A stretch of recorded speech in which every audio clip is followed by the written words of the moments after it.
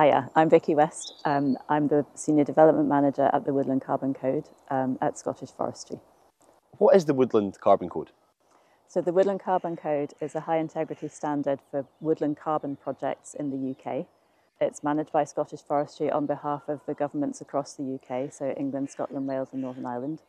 Um, and it's endorsed by ICROA, so that's an international organisation. Who is the Woodland Carbon Code aimed at? So the Woodland Carbon Code um, is aimed at landowners who are looking to create woodland um, on their landholding, um, but they need maybe some extra cash to make that viable. What is the, the Woodland Carbon Code and, and what does it actually do? Okay, so the, the, the, standard is there to provide a framework to allow landowners um, to predict and monitor the amount of carbon that will be sequestered in their woodland as it grows um, and that provides then the facility to create carbon credits, which they can sell to companies who are looking to compensate for their unavoidable emissions. Um, but that also provides then an income to the landowner to help them with the management of their woodland. Some smaller landowners have been discouraged by the costs of validation and their impressions about the product. Mm -hmm. um, what advice do you perhaps give to them um, if they're a little bit unsure? Sure, so it is a hard balance because obviously we need to be credible enough in showing how much carbon is sequestered, but we need to make it cost effective enough for these small landowners. Um, so one thing that we have done is we've introduced this streamlined process for small woodlands. Um, now, first of all, I guess I should define a small woodland. So for us, that's something between one and five hectares. Um, and for, the, for, land, for woodlands of that size, um, we have this streamlined process. So when you register, um, we have a, you have to do a carbon calculation, but there's a simplified version for smaller landowners. Um, and you basically only need to know how big your woodland is, whether it's broadleaf or conifer, and how you're going to manage it. And that'll do a simple but conservative carbon um, estimate. Um, when you come to validation, the process is similar to um, standard size projects. But the real cost saving comes when you get to verification, because when you have to show how much carbon is sequestered in your woodland, uh, for a small woodland, we don't require you to go out and survey your woodland to prove how much carbon's there. Um, we essentially assume that the prediction is correct, provided that you can provide some photos. So an aerial photo from above and photos within the woodland just to show that it's healthy and how much is there.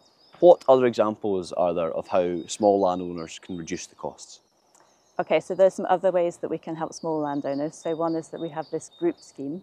So when projects come to validate and verify, so that's the third party process, um, you can group your projects together. So you need a group manager, um, but you can group the projects and per project that means that the validation and verification cost is way lower. Um, there are some group managers or project managers on our website, so you can look on the website to find somebody who might help you.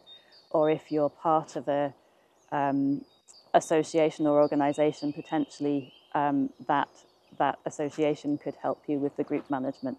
So there's another scheme I'd like to tell you about, which is um, when it comes to the verification, there's kind of an alternative to verification for small projects. So we have the option that you can self-assess your project. So rather than pay for a third party, um, you upload documents yourself to show how your project's doing. Um, so you can do this at every other um, time point. So that means it basically halves the cost of verification over right. the lifetime of your project. Many small tree planting projects and areas of land are done by community projects and charities. Do you have any specific advice for them? So I guess I, the advice would be to, to get some help. Um, so there is a list of project developers on our website.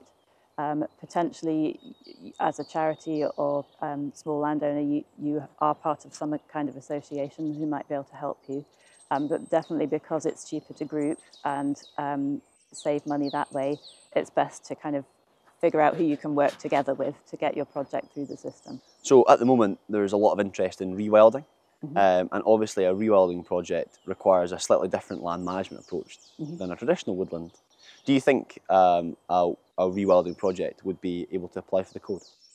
Certainly. So within the Woodland Carbon Code, we've always, always allowed natural regeneration of woodlands um, as a management type.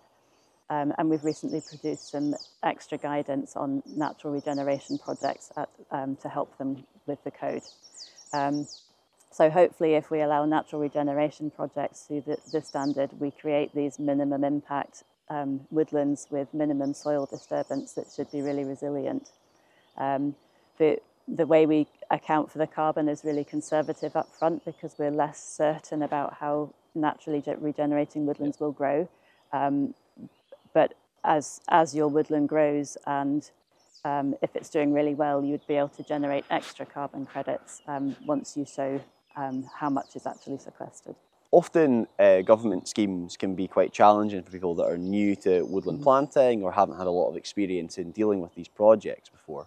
Um, what advice do you have for people that are maybe a little bit confused or need a little bit more assistance? Okay, so there's various forms of help. So the first is we have a regular newsletter. So if you go to our website, you can sign up to the newsletter and you'll hear the latest about all things woodland carbon. Um, the second is that we have a series of webinars we've been running. Um, you can sign up to these webinars live, but they're also available on our website to watch again. So you can go back and watch any of them. There's one specifically about small woodlands. There's one about natural regeneration. Um, you know, there's one about how to validate, how to verify and things. So we've broken down all the steps into short webinars. We're also looking at how we might um, make the code more accessible to smaller projects. Um, so we're thinking, could we potentially increase the size of what counts as small so that um, maybe woodlands up to 10 hectares would be allowed into this um, streamlined scheme.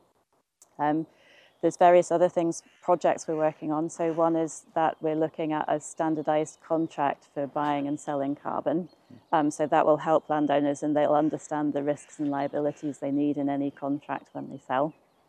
Um, we're also looking at how we monitor, pro monitor projects going forwards using remote sensing um, with data from drones and satellites. Um, and hopefully that will be more efficient and usable for small projects once we get the system running. Um, so yeah, there's a variety of things we're doing to help um, smaller landowners in future. So have you got any specific examples of small or community groups that have partaken in the code? Sure, so um, I guess one example is um, there's a group of projects which are all, um, they're farm projects, so they're farmers that have come together and they've been assisted by a charity called the Yorkshire Dales Millennium Trust. So they've brought those projects together and, and they validated them as a group. Just to wrap up, for those that are considering the scheme, uh, mm-hmm. where would you recommend they turn to for more information or, or advice on, on?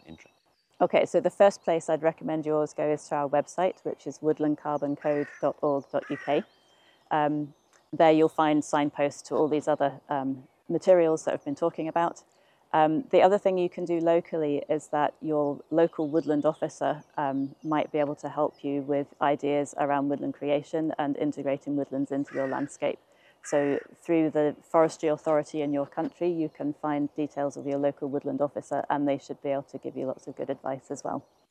Brilliant. And that scheme, is that available across all of the United Kingdom? It is. So it runs slightly differently in each country, but um, each forestry authority has a network of local woodland officers that you would be able to contact. Brilliant. Thank you very much. Thank you.